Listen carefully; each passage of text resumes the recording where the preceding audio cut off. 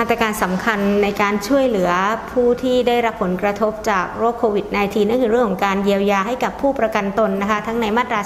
33 มาตรา 39 และมาตรา 40 ซึ่งคณะรัฐมนตรีก็ได้มีมติล่าสุดในการเยียวยาให้กับ 9 กลุ่มอาชีพจากมาตรการล็อกดาวน์ที่มีขึ้นล่าสุดค่ะ ในส่วนของ 9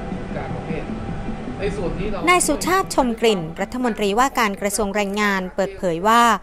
หลังจากคณะรัฐมนตรีเห็นชอบอนุมัติวงเงินงบประมาณ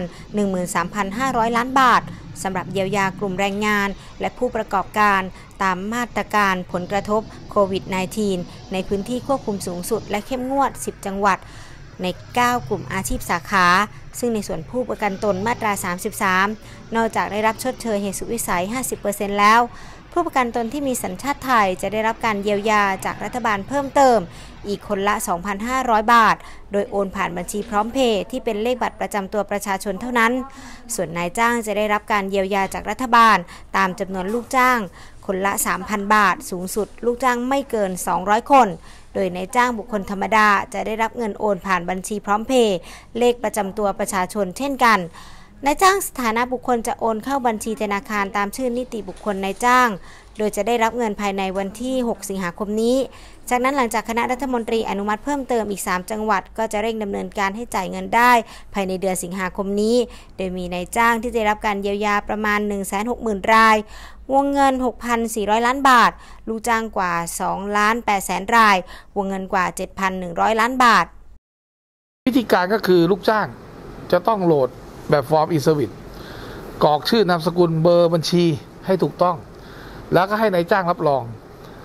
ว่าเขาไม่ได้จ่ายเงินเดือนลูกจ้างคนนี้ในช่วงที่มีคำสั่งศบคจริง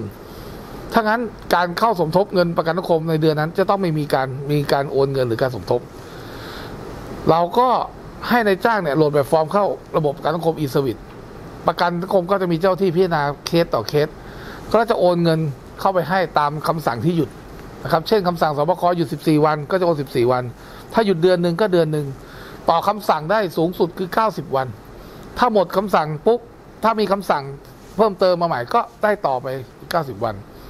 อันนี้ถ้าเขาได้เงินเดือนฐานสูงสุดหมื่นห้าครึ่งหนึ่งก็คือ 7,500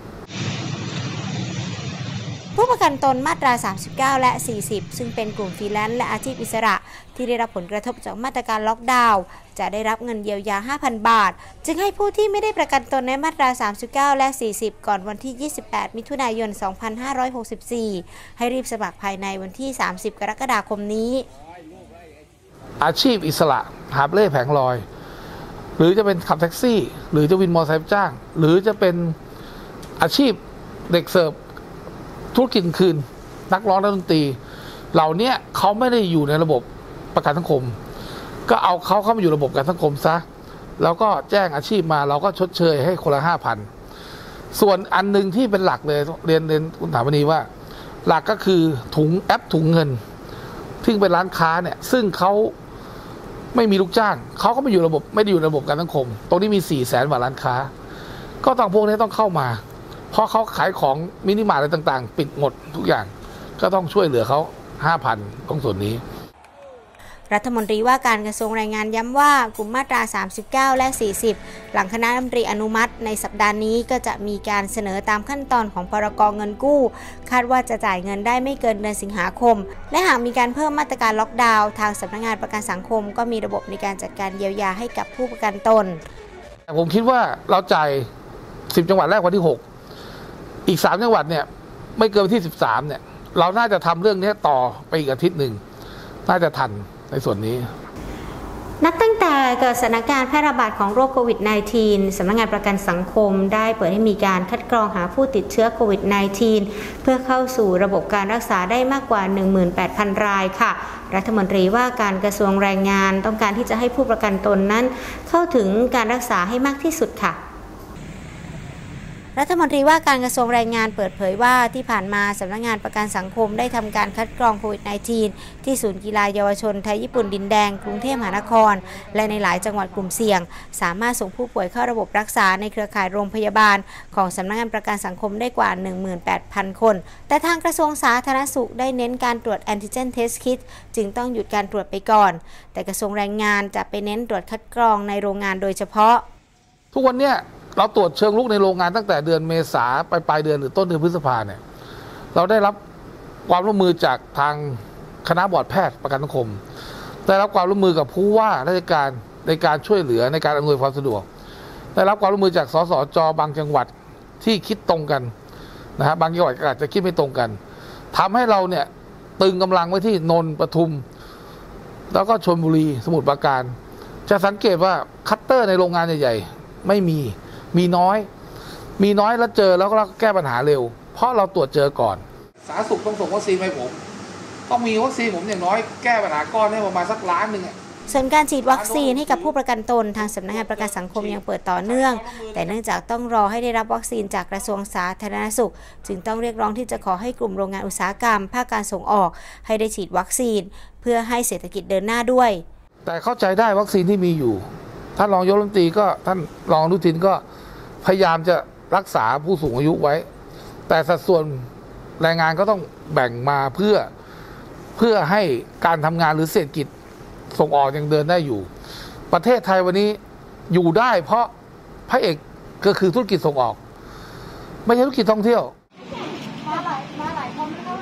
ส่วนมาตรการปิดแคมป์คนงานที่ผ่านมากระทรวงแรงงานได้ให้การช่วยเหลือ ทั้งการจัดส่งอาหาร การตรวจคัดกรอง เพื่อนำผู้ติดเชื้อไปรักษา และการฉีดวัคซีน เพื่อให้สามารถเปิดงานได้ปกติ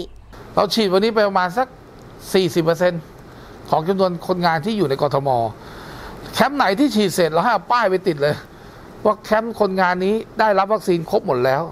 จากกระทรวงแรงงานเนี่ยคือสิ่งที่เราพยายามทำให้พี่น้องประชาชน ให้เห็นภาพ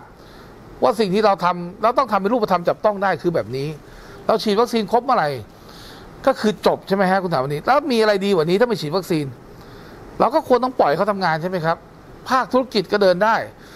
แรงงานก็มีรายได้กลับมานะครับ การเติบโตของเศรษฐกิจภาคสังหาริมทรัพย์ก็ไปเรื่อยๆนายจ้างก็แฮปปี้แต่ปิดแล้วต้องจบไปจบคือเรื่องนี้นะครับ นี่สิ่งที่ผมบอกว่า หนึ่งผมแก้ปัญหาที่จบแล้วคือแคมป์คนงานจบแน่นอนฉีดวัคซีนก็คือจบหมดเลยใช้ประกันของรัฐบาล